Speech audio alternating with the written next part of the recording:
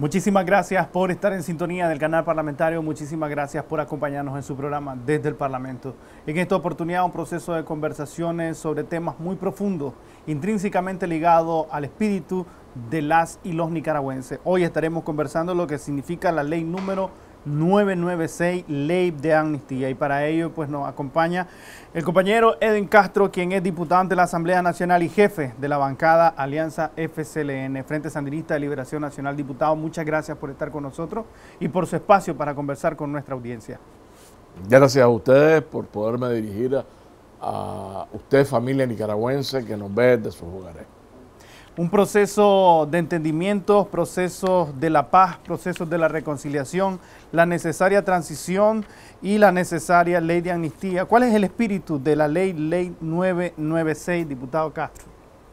La misma ley lo dice en su considerando que ante los actos violentos y destructivos iniciados el 18 de abril de 1910, del 2018, es voluntad del Estado la búsqueda de la estabilidad el aseguramiento de la paz y el mejoramiento de las condiciones económicas para lograr el desarrollo integral de la familia nicaragüense. Es decir, esta ley de amnistía lo que busca es ese camino de paz que se ha ganado el pueblo de Nicaragua. Es esa reconciliación, esa reunificación de la familia nicaragüense que se pretendió romper con la intentona golpista del 18 de abril del año pasado, donde algunos malos hijos de Nicaragua, siguiendo o apoyados por la derecha recalcitrante de los Estados Unidos, financiaron y prepararon una intentona de golpe de Estado.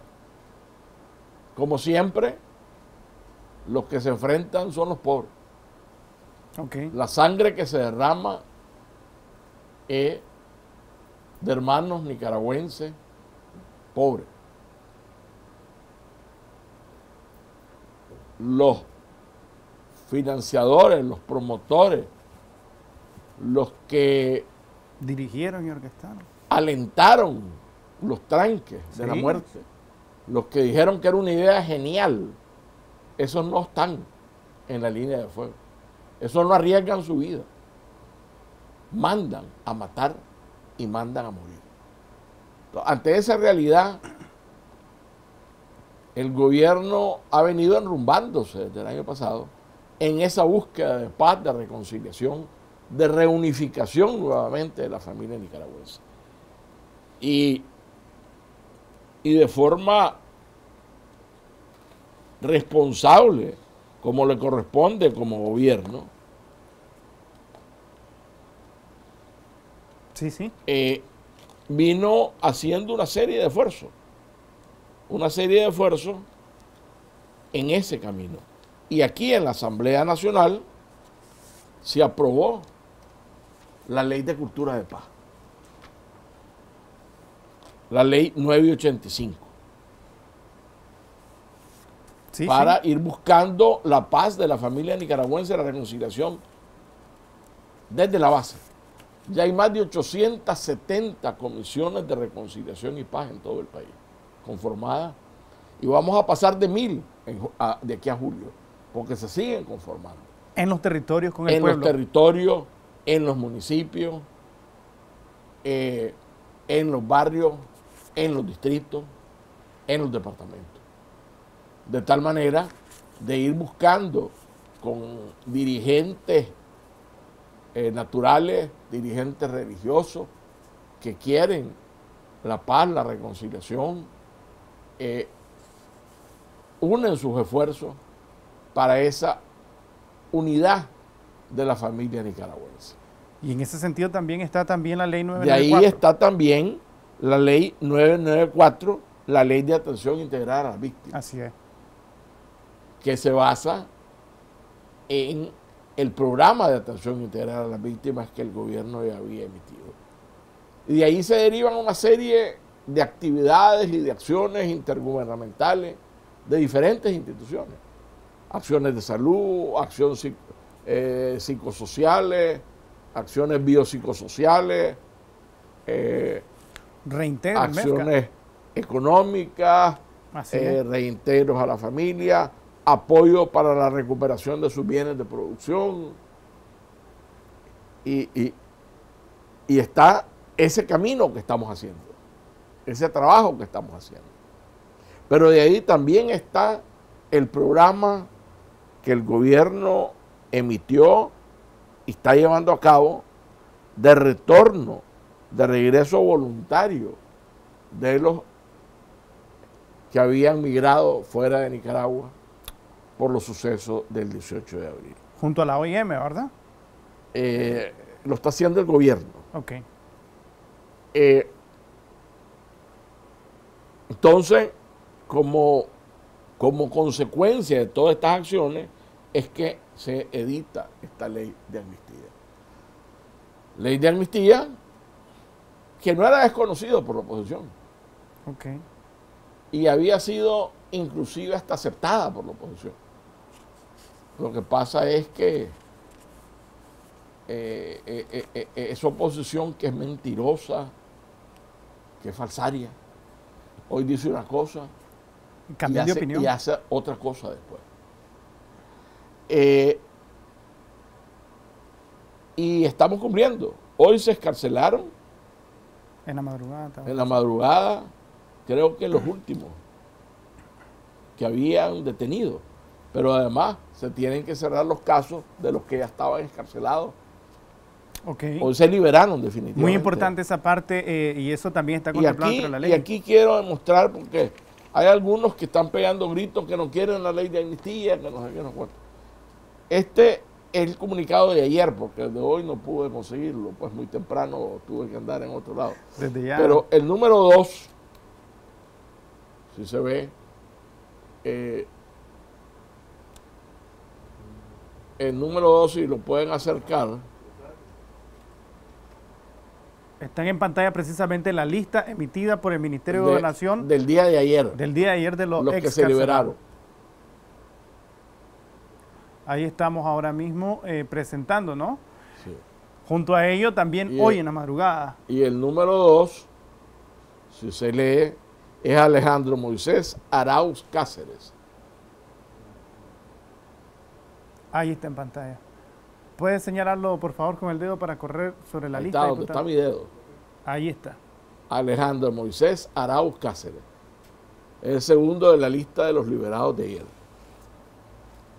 Y aquí tenemos el acta de entrega, el acta de liberación de Alejandro Moisés Arau Cáceres, donde él firma que es liberado por la ley de amnistía.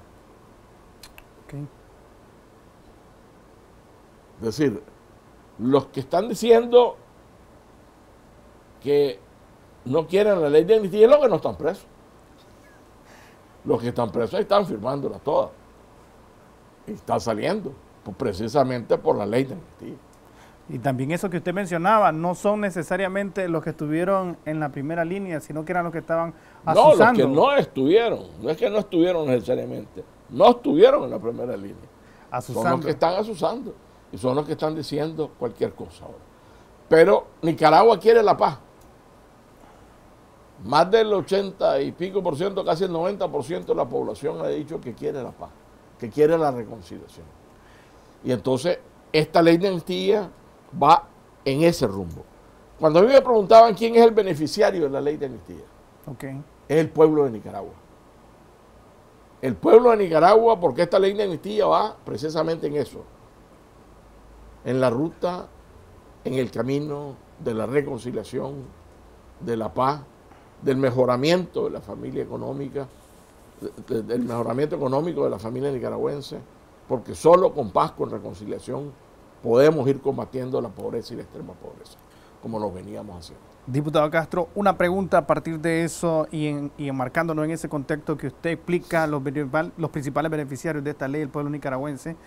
Le pregunto los retos principales que enfrenta nuestra sociedad a partir de la aprobación de esta, pero no es una ley que se ve como aislada, sino que usted lo mencionaba muy bien, articulada a un proceso y una voluntad política. A una voluntad política y una serie de acciones que estamos, que estamos haciendo. No es que vamos a hacer, que estamos haciendo. Exacto. Que estamos ocupados y trabajados haciendo eso. No estamos en retórica. No estamos en, en, en, decir qué es lo que se va a hacer, qué es lo que se puede hacer. Eh, obviamente tiene beneficiarios directos. Claro. Y de los beneficiarios directos, la misma ley lo dice, son aquellas personas que no han sido investigadas. ¿Quiénes son estos? Precisamente esos que asusaron, que es apología del delito, son beneficiados por la ley de amnistía, aunque renieguen de ella. Es como quien, el dicho de Nicaragua, en la leche y reniegan de la vaca. Ellos son beneficiados de la ley de amnistía. Los que financiaron, los que promovieron, los que alentaron los tranques de la muerte, los que pagaban en los tranques para que estuvieran delincuentes ahí, los que fomentaban desde las iglesias, algunas iglesias, las torturas, las muertes, que lo vimos todos los nicaragüenses y lo, y, lo seguimos viendo en, el trabajo que se está haciendo de recopilación de la verdad. Eh, esos también son beneficiados por la amnistía. También son beneficiados por la amnistía los que estaban en proceso de investigación, más de 296, que el Ministerio Público tenía en proceso de investigación, pero que no estaban presos. Precisamente. Que estaban o escondidos, o prófugos, o en rebeldía, o fuera del país. Esos son beneficiados por la ley de amnistía. Los que habían sido escarcelados antes de la ley de amnistía, pero que tenían eh, convivencia familiar, o como decimos en lenguaje nicaragüense, casa, por cárcel. Esos son beneficiados de la ley de amnistía, porque eso se les va a cerrar su expediente y van a quedar en total libertad. Eh, y a los que estaban detenidos, que, que salieron hoy, salieron ayer, con total libertad. Y a todos estos se les cancelarán sus registros de antecedentes penales como personas beneficiadas por la ley de amnistía. Ya te, ya te enseñé yo un, ejemplo, un ejemplo de acta. Como decimos en Ahora, si, si, esta ley es para buscar la reconciliación, para buscar la paz, un elemento importante es que no puede haber repetición. Muy importante, que está contemplado entre la ley precisamente. Que está contemplado en la ley. Y no es un invento de la ley. Ok. En esta época en que los derechos de autor tienen que ser respetados y reconocidos. Esto es de un documento del 2013. Por favor, en pantalla ahí mismo. Eh, un poquito recto y nos explica de qué va esto. Las pautas de Belfa sobre amnistía y responsabilidad. Fue elaborado por una serie de expertos, de expertos. Eh, el director de codificación del asunto jurídico de Naciones Unidas. Ok. Esto es un instrumento de Naciones Unidas. El catedrático de Derecho Internacional de la Universidad de Edimburgo, el catedrático de Derecho Internacional de London School of Economy y relator sobre derechos humanos de personas desplazadas internamente de Naciones Unidas. Okay. Eh, un miembro del programa de doctorado de la Universidad de Columbia, de las más prestigiosas el catedrático de Derecho del Instituto de Justicia Transicional de, la Universidad de Ulster, el director ejecutivo del Instituto de Transiciones Integradas, el profesor emérito de Queen University de Belfast y catedrático de la Universidad de Ulster, el catedrático de Paz y Conflicto del Instituto Internacional de Investigaciones de Conflictos de la Universidad de Ulster, el catedrático internacional de Derecho y Diplomacia de la Universidad de Tufts en Inglaterra, el profesor emérito de Derecho Internacional de la Universidad Hebrea de Jerusalén, el catedrático de Derecho Internacional de la Facultad de Derecho de Bangor, el catedrático de Derecho y Justicia Transicional e Instituto de Criminología de Queen's University, eh, profesora de Derechos Humanos y Derecho Internacional de la Universidad de Ulster, el catedrático de Derecho Internacional de la Universidad de Mixland en Inglaterra, el presidente, y que además es presidente del Centro Irlandés de Derechos Humanos y de la Universidad Nacional de Irlanda, el catedrático de Derecho Universidad de la Universidad de Seattle en Estados Unidos, comisionado de Justicia, Verdad y Reconciliación en Kenia, la directora de la Fundación para Derechos Humanos de Sudáfrica, el ejecutivo y de apoyo de programas en Sri Lanka, miembro de el Canadian International Development Agency del SIDA y miembro del Consejo Nacional de Paz de Sri Lanka. Es decir, una serie de, de gente que, de expertos en la materia, que nos dicen en las condiciones de amnistía en el punto 12, condiciones de conducta futura de los beneficiarios de amnistía. Y cito la parte condicente. Las condiciones que podrían imponérsele a un beneficiario para retener la amnistía incluyen, dos, abstenerse de perpetrar nuevos delitos o relacionados con conflictos o cualquier otra actividad delictiva. Okay. Y eso es lo que hemos puesto en el punto 3. Referido a la no repetición. De la no repetición. Y dice el punto 3. Las personas beneficiadas por la ley, por la presente ley, deberán abstenerse de perpetrar nuevos hechos que incurran en conductas repetitivas generadores de delitos aquí contemplados. La inobservancia del principio de no repetición trae como consecuencia la revocación del beneficio establecido por la presente ley. ¿Qué se, quiere decir con esto? Y esta es la gaceta donde salió la ley de amnistía. ¿Ah? Que es la gaceta número 108. Gírelo, por favor, ahí. Eh, que si alguien que es liberado en base a la ley de amnistía, estaba condenado a 10 años por X delito, X delito común, eh, delito penal, y vuelve a repetir, o a querer repetir, o a delinquir sobre estos mismos delitos, va con la factura nueva, es decir, con el nuevo juicio, pero se le revive la factura anterior también. Y es muy importante que explique esa parte con respecto a la Se le revive los 10 años anteriores. Es decir, porque aquí lo que estamos buscando es la paz, no la impunidad.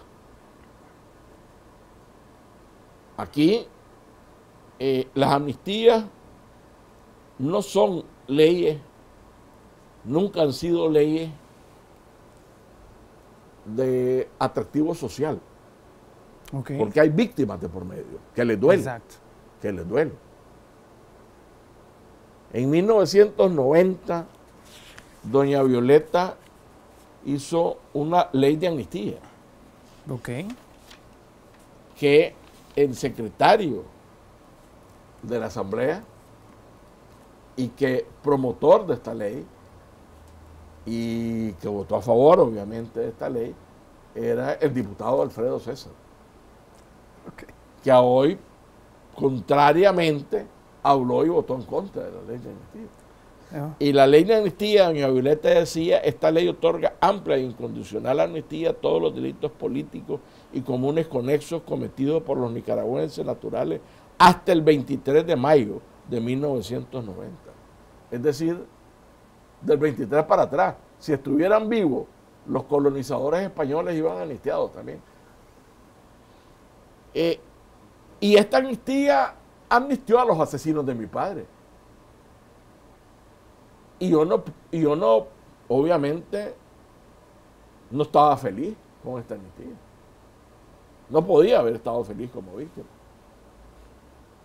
Pero el altar de la patria, la paz, la reconciliación, la búsqueda de seguir adelante, eh, la búsqueda de lo que mi mismo padre soñó, un mañana distinto, me obligaba y obligaba a muchas víctimas, 50 mil víctimas, porque fueron 50 mil muertos. Más los desplazados. Más los desplazados. Más de 50 mil con el somocismo y 50 mil en la época de los 80. La guerra de agresión norteamericana. La guerra de agresión con la contra. Nos obligaba a ver hacia adelante, a ver por el futuro de nuestros hijos, a ver por ese mañana distinto por el que mi padre peleó y soñó, y por el cual fue asesinado en la cárcel. Entonces, igual que hoy, esta ley de amnistía también es un trago amargo. Pero tenemos que pensar en, en ese camino de paz que nos hemos ganado los nicaragüenses, en ese camino de reconciliación, en ese camino de poder andar en la calle siendo el país más seguro de América Latina. Entonces, eh, eh, tenemos que pasar por esta ley de amnistía. igual, eh, como también el gobierno hizo leyes de amnistía en los años 80. Así es, diputado Castro, tenemos que hacer una pausa, pero al volver quisiera que habláramos de ese proceso, lo que continúa dentro de ese entendimiento. Muy importante y me quedo con esa parte reflexiva sobre la cual usted descansó un momento. No repetición, principio de no repetición. Eh, muy importante esa parte que usted explicaba certeramente ya que es un proceso de entendimiento para lo que usted dice también, la construcción de la paz en nuestro país. Nosotros hoy en su programa desde el Parlamento estamos conversando y conociendo sobre la ley 996, ley de amnistía. Ya volvemos.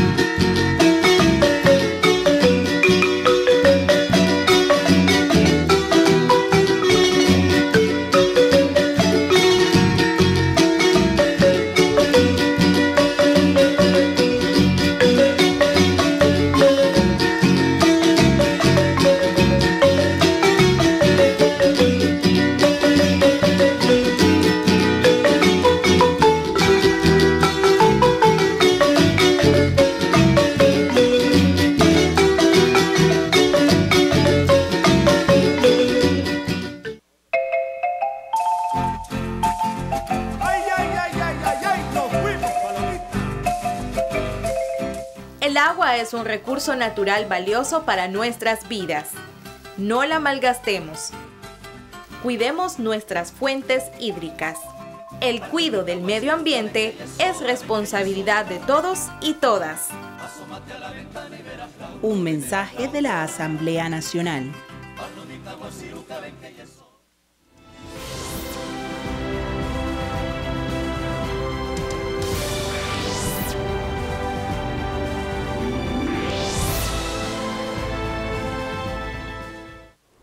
Muchísimas gracias por estar en sintonía de su programa desde el Parlamento. Un proceso de conversación sobre también un proceso en el que se encuentra inmerso nuestro país, trabajando duro por la paz, trabajando duro por la reconciliación.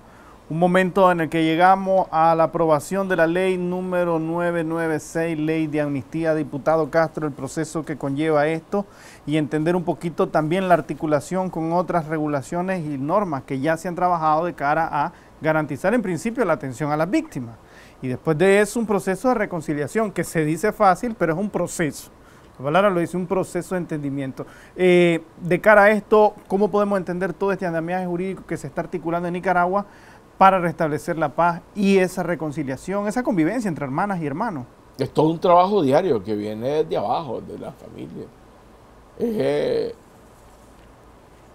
es lo que el presidente Ortega dijo en su momento determinado.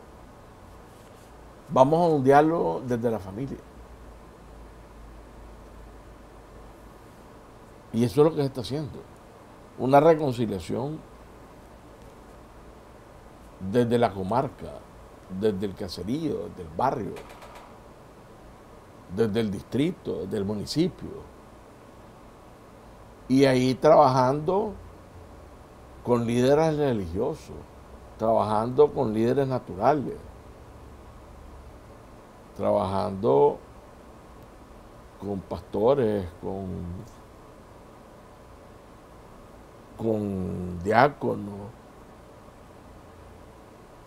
con predicadores de la palabra, etcétera, con gente del ministerio de mi familia, con gente del Ministerio de Salud, en trabajos sociales, psicosociales, biopsicosociales, en trabajo eh, de atención familiar, eh, eh, en trabajo que se combina la atención a la víctima con la cultura de paz. Es todo un trabajo combinado, integrado. y, y esa es la ruta para la reconciliación, para el crecimiento económico. No puede haber crecimiento económico si no hay reconciliación. Sí. Lo, lo, peor para el crecimiento económico son los conflictos. Los que no quieren esta amnistía, ni quieren la reconciliación, ni quieren la paz, son por intereses politiqueros. O por responderle al amo que les paga al amo imperial que les paga. Que puede haber muchos de esos peleles todavía que en Nicaragua. Su, planteamiento me, deriva un poquito de una antesala para hacer una pregunta a riesgo de parecer inocente, pero quiero hacerla, necesitamos hacerla. Eh, ¿Por qué se trata de manipular esta ley, tratando de hacerla ver como un proceso que delimitará el accionar de algunas instituciones y de algunas entidades gubernamentales? Sandino siempre dijo, que desgraciadamente hay peleles en Nicaragua. Hay peleles que responden a los intereses imperiales. Hay peleles que no responden a los intereses nicaragüenses. Que, que no son la mayoría, yo creo que no son la mayoría. Son una minoría. La inmensa mayoría quiere ser nicaragüense, quiere paz, quiere tranquilidad, quiere desarrollo independientemente de que si sea de una u otra ideología. Eh, pero bueno, siempre hay los que piensan en intereses personales y en intereses politiqueros. Hay que ver que ya estamos adentrándonos casi a la próxima campaña electoral del primero de noviembre del 2021. Entonces, Ahí hay una guerra de candidatura. Hay una guerra de posicionamiento. Que no les interesa el país. Les interesan sus intereses personales. les interesan sus intereses particulares. Desgraciadamente, esa es la realidad de muchos de ellos. Eh, porque, como me decía a mí hace finales del año pasado, un expresidente de República Dominicana, Leonel Fernández, me decía que la intentona golpista a partir del 18 de abril del año pasado tiene una razón. Y era la frustración de algunos políticos, entre comillas, que veían que no podían por los votos derrotar al sandinismo. No podían por los votos derrotar al gobierno de Daniel Ortega. Entonces tenían que intentarlo de otra manera. Forma violenta, violenta. De forma violenta. Nunca antes visto en Que la historia de Nicaragua libera conservadora, precisamente. Lo que no se logra con los votos, se logra con las eh, armas. Aquí en Nicaragua, que se quiso vender al comienzo de que los demócratas eran los antisandinistas. La verdad es que la primera elección pluripartidista en Nicaragua fue la de 1984. Con el Frente Sandinista. Con el Frente Sandinista. La primera elección que cambió el partido de gobierno por los votos fue en 1990.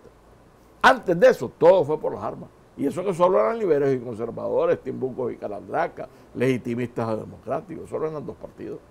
Pero no cambiaban por los votos, cambiaban por las armas, por liberación, por golpes de Estado, por supuestas revoluciones como la de Celaya, por Notanox, por el Lomazo, por guerras nacionales, hasta por la revolución sandinista.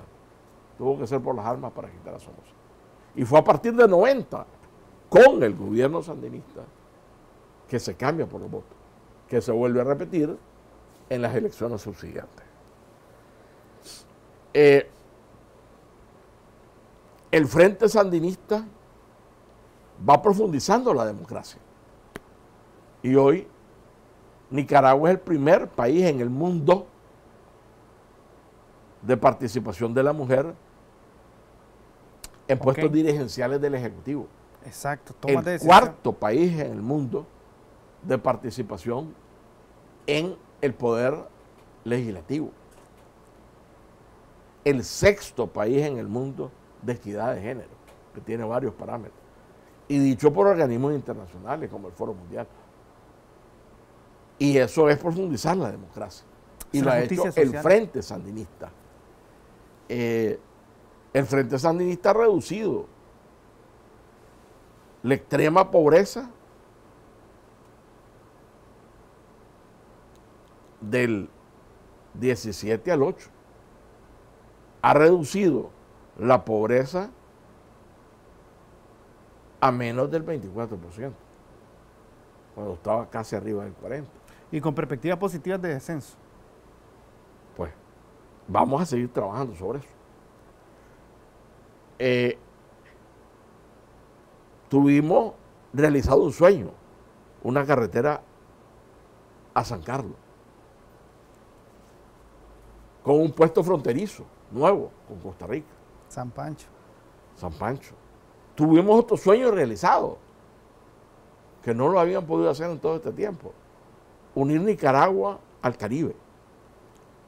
La carretera Bluefield. 400 años de deuda.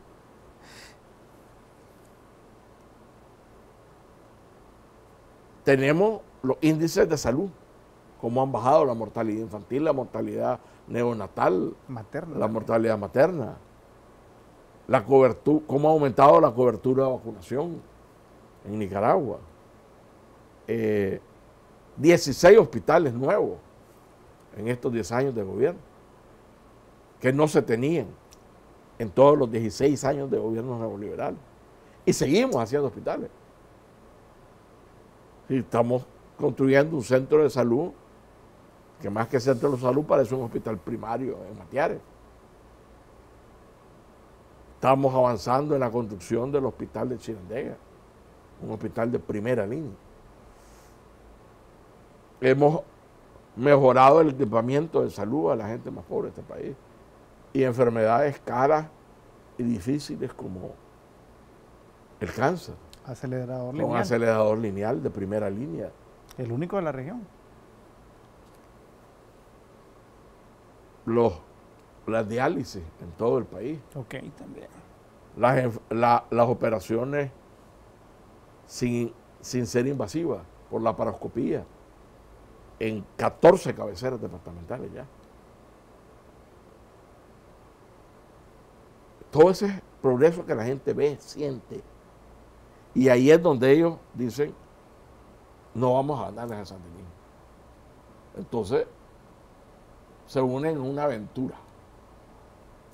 En Una aventura que venían preparando hace rato. Que venían preparando hace rato los malos hijos de Nicaragua. Diciendo el gobierno de Daniel Ortega es un gobierno inconstitucional, es un gobierno que no es legítimo, etcétera, etcétera, etcétera. Pero la gente está viendo, está sintiendo. Y el camino de la gente es la paz, la reconciliación. Diputado Castro, tenemos que hacer una nueva pausa, pero al volver quisiera que habláramos un poquito de lo que viene, ¿no? Es decir, ya usted lo mencionaba, estamos trabajando detrás de cámara, usted nos compartía, no nos detenemos, seguimos avanzando, mucho que hacer, rutas de prosperidad para nuestro país, pero también procesos de entendimiento y necesaria transición por y a través de la reconciliación. Nosotros estamos hablando en su programa desde el Parlamento de la Ley 996, Ley de Amnistía. Ya volvemos.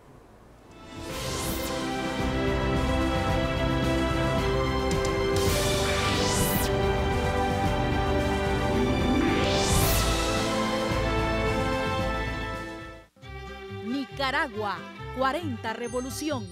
Nicaragua linda, cómo te queremos. Somos tus hijas, tus hijos, amantes de la luz, custodios de nuestros sueños y tesoros. Patria, paz y dignidad. Nicaragua, 40 Revolución. FSLN. Rojinegro que defiende la soberanía azul y blanca de Celedón. De Sandino, nuestra Nicaragua de las y los nicaragüenses, tierra de almas de fuego, tierra de vientos y aguas sagradas, tierra de valientes, tierra fértil. Nicaragua, 40 revolución, somos el color de la esperanza, la vida buena, la familia, la fe, somos amor en grande, pueblo cristiano generoso, solidario, con todos los colores de la patria libre, orgullosas y orgullosos de las victorias que siguen de la mano de Dios.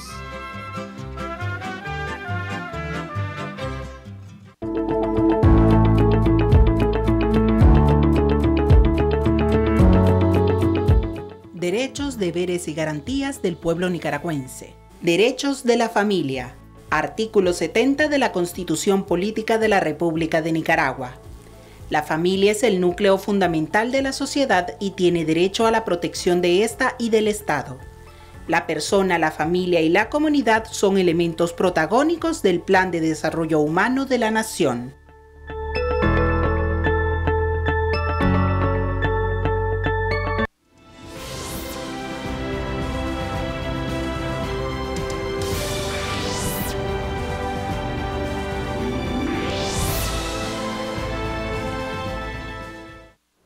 Muchísimas gracias por continuar en sintonía de su programa desde el Parlamento. Ley 996, Ley de Amnistía, diputado, precisamente eh, usted nos quisiera compartir ya en su poder algún comunicado emitido por el Ministerio de Gobernación respecto a lo que ya se está concretando. Sí, lo que te decía, que hoy en la mañana se liberaron Así es. a otra serie de detenidos eh, que no tenía el comunicado porque muy temprano estuvo en otro canal, pero que aquí lo tengo. Nota de prensa, Ministerio de Gobernación. El Ministerio de Gobernación de la República de Nicaragua da a conocer a las familias nicaragüenses y de otras nacionalidades que en cumplimiento de lo establecido a la ley número 996, aprobada, la ley de amnistía, aprobada por la Asamblea Nacional el 8 de junio del 2019 y publicada en la Gaceta Diario Oficial número 108 del 10 de junio del 2019, la Dirección General del Sistema Penitenciario Nacional, el martes 11 del 2019, es decir, hoy, ha liberado y entregado al Comité Internacional de la Cruz Roja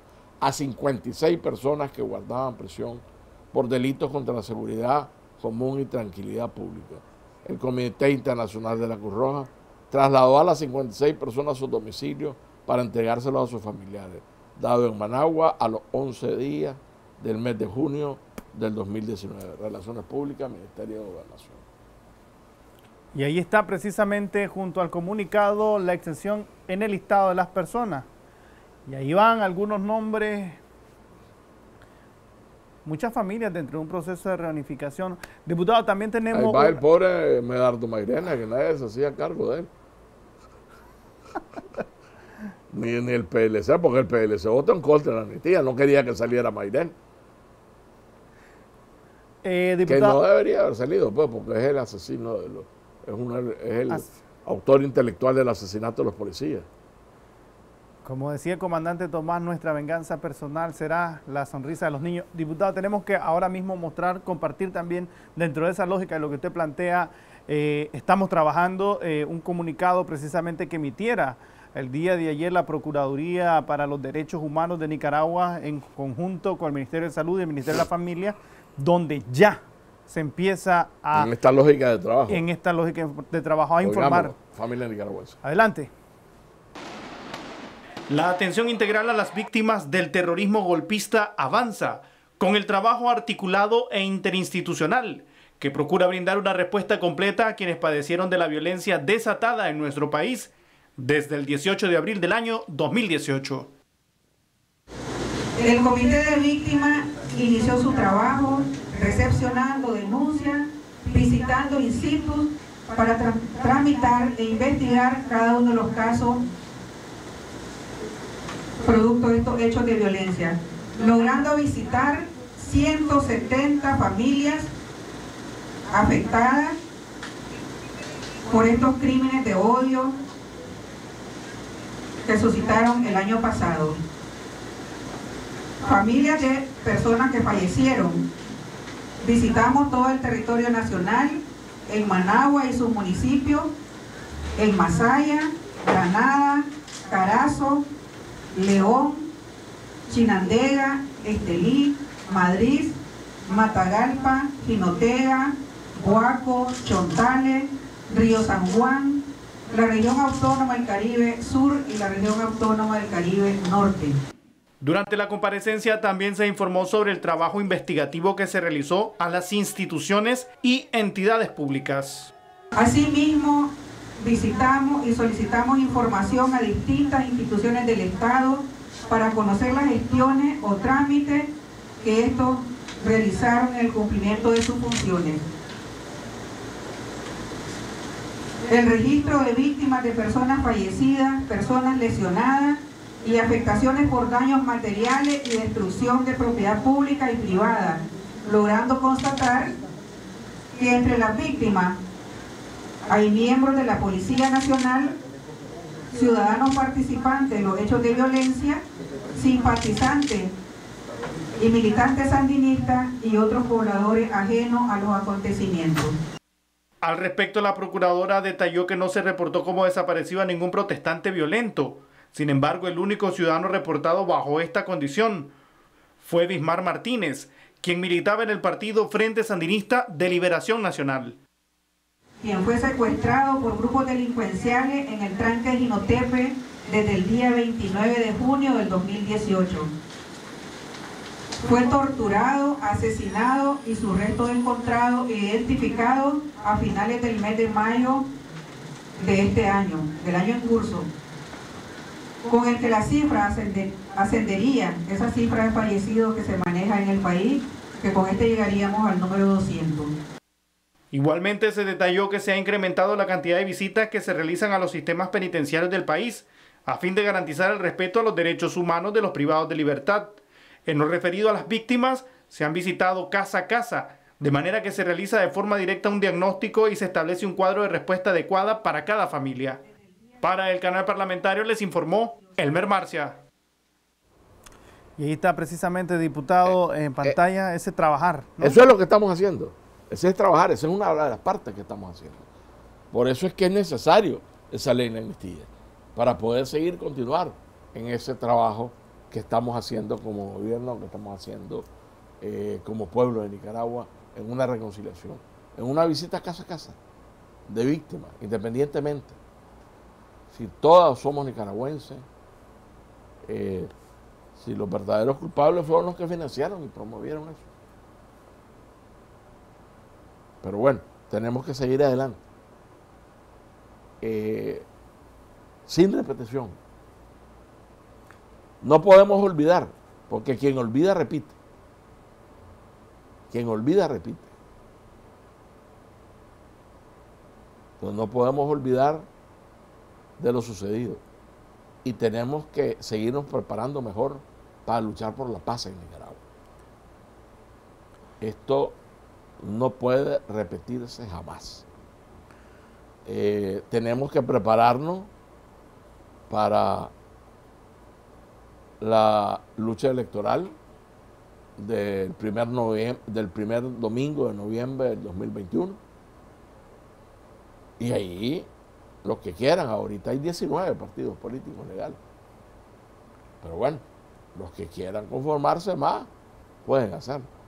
Eh, queremos ir perfeccionando nuestro sistema electoral. Ok. Y, si tenemos el apoyo de la OEA, bienvenido sea. Pero, que, pero es una voluntad del gobierno de Nicaragua. El seguir perfeccionando como lo hemos venido perfeccionando. Diputado, aprovechando su compañía, un aspecto muy importante es la unilateralidad de todas estas acciones. El gobierno lo ha emprendido de forma unilateral, es decir, dentro de sus acciones y compromisos con el pueblo. Yo, yo no diría unilateral. El gobierno la ha hecho porque es su obligación como gobierno, porque es su voluntad como gobierno. Es decir, eh, eh, eh, es nuestra voluntad buscar la paz, buscar la reconciliación. Lo hemos hecho antes, lo hemos hecho ahora. Es decir, no te olvides que como Frente Sandinista buscamos una alianza, una alianza por Nicaragua, unida Nicaragua triunfa donde el principal jefe, o uno de los principales jefes de la contra, fue vicepresidente de la República, ¿no? Junto con el comandante Daniel. Es decir, contras que, que han sido y son diputados, concejales, alcaldes. Eh, líderes y contra eh, de pueblos originarios. Ya está más aliado nuestro. Brooklyn fue diputado nuestro. Eh, hoy el comandante Blas es diputado nuestro, somos Goleman. Eh, Wilfredo Navarro, liberal, con su movimiento liberal, es diputado de la alianza. y, y así vamos sumando, porque lo importante para nosotros es el altar de la patria. Es la reconciliación, es el progreso, son las familias más pobres de este país. Y en eso podrán caminar alguna gente con nosotros. Algunos hasta el final, otros un rato. Pero ese, esa es la lógica de las alianzas. Y en esa lógica vamos a seguir trabajando. Vamos a seguir trabajando por una Nicaragua mejor por una Nicaragua donde se acaban las lágrimas del hogar pobre de este país, porque no tengan que comer, porque no tengan que vestirse, porque no tengan esperanza. Y ese es en lo que estamos trabajando. Por eso luchó, por eso murió mi padre y por eso el Frente Sandinista va a seguir luchando, por eso luchó Carlos por eso lucharon unos miles de héroes y mártires, por eso trabajó toda su vida el comandante Borges, eh, y por eso vamos a seguir trabajando en este país. Diputado, de mi parte no tengo ninguna otra pregunta más. No sé si usted quisiera compartir, a partir de lo que implica la ley de amnistía, algún mensaje más con el pueblo nicaragüense. Pues adelante en dos minutos. No, decirle a nuestro pueblo que nos ve, que quiere paz, que quiere tranquilidad, que quiere reconciliación, que quiere seguridad, que trabajemos juntos. Nos hemos ganado el derecho al camino de la paz, de la reconciliación, de la no confrontación. Y por eso vamos a seguir trabajando día a día